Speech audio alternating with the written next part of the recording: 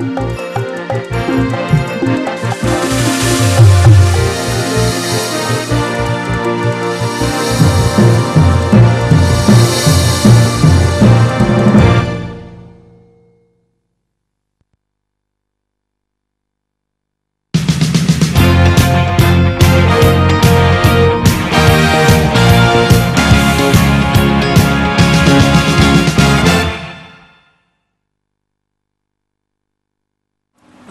jumpa lagi dalam dialog eksklusif bersama saya Faria May. Kita mengenal sosok Ibu Kartini sebagai pelopor emansipasi wanita di Indonesia.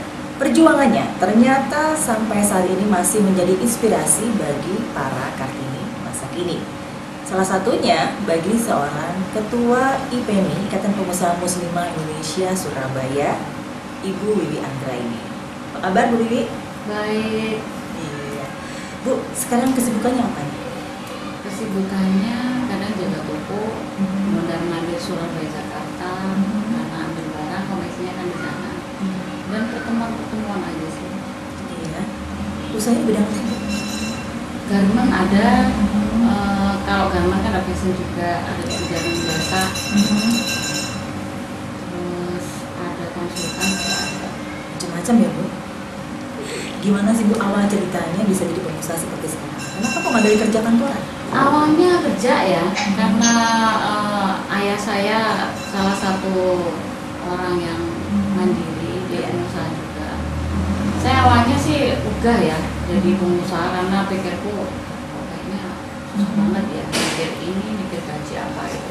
Dari SMA saya udah suka dagang sih, karena dari ayah suka jual juga. Iya. Dari situ nyoba kok kayaknya hobi banget gitu. Jualan apa aja kayaknya laku ya. Dari itu coba saya buka eh, toko, Iya. tapi mungkin dari awalnya kurang manajemennya kurang, jadi di situ saya kurang menemukan. Dari situ saya coba lagi lulus SMA coba diri untuk jadi karyawan ya, ya Pak. Karena Bapak tidak ngizinin saya iseng aja Iya. di marketing waktu itu jadi sales. Kebetulan saya suka dagang juga. Iya. Di situ saya juga inovat sales skill terbaik. Saya jual 25 unit. Oh. Tapi entah kenapa nggak nyaman ya. Setiap kali suruh cek lo apa gitu, oh pakainya harus seperti ini nanti jangan telat jangan apa itu kayaknya Hmm. ngerasa wah ini kok nggak nyaman, nggak nyaman banget gitu Iya. Ya. Dari situ saya pindah lagi ke SPG rokok. SPG rokok juga gitu harus pakai softline harus pakai ini pakai itu yang yang lenje yang apa kan kayaknya nggak nyaman banget juga. Iya. Nah, saya dari situ hanya dua kali jadi karyawan saya nyoba eh, bikin keripik. Bu? keripik waktu itu keripik ketela ya iseng-iseng goreng terus eh, teman-teman juga suka Iya. dari situ awalnya saya buka usaha saya punya marketing 5 yang packing itu 5 jadi 10 orang jadi dari situ bergulir lah lama kelamaan ya naik turun ya Sempat jatuh juga. oh, saya jatuh kayaknya tujuh kali Tujuh kali.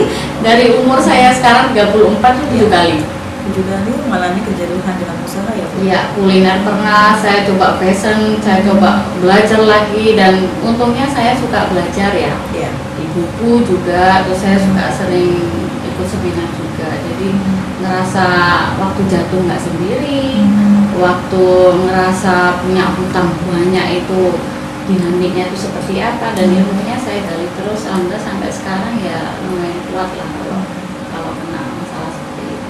Nggak kapok ya Bu? kayaknya dulu sih kapok ya. Sekarang tambah gregetan. Kalau udah Eh, bedanya mungkin gini mbak. Antara pengusaha yang eh, masih baru sama Iya. yang lama kalau sekarang dulu mengalami kega- kegagalan kayaknya ngerasa aduh kayaknya gue gini banget ya Iya. kayaknya orang-orang kayaknya nggak kayak aku aku kok kayak gini kayak gini meratapi kegagalannya kalau Iya. udah lama kelamaan juga ngerasain ah ini aku kurang apa ya gemesnya kan di situ bedanya kalau udah menua usahanya itu bedanya seperti itu dia mesti mencari apa formula yang baru untuk makin sukses itu aja. Sudah berapa tahun sih Bu? Saya dari SMA lulus kerja cuma ikut uh, perusahaan dua tahun ya, satu tahun setengah nggak sampai dua tahun sampai sekarang. Berarti tahun ya? hampir 20 tahun ya, sekitar segituan ya. Apa yang membuat ibu mencintai profesi ini?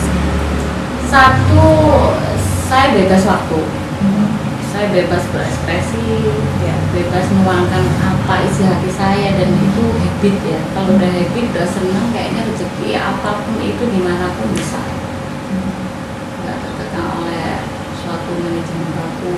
Tapi kita harus mengumpulkan manajemen hati yang baik itu bagi saya suatu tantangan. Baik, Bu Bibi kita break sebentar. Pemirsa kita akan lanjutkan lagi perbincangan kita setelah jeda berikut. Jangan ke mana-mana tetap di dialog eksklusif. Música